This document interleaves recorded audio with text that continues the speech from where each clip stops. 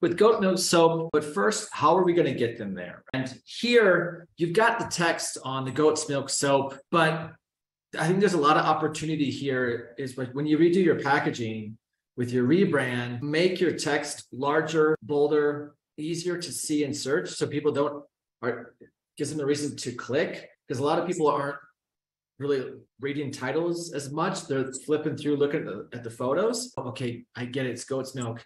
Here, this brand, there's a lot of white space.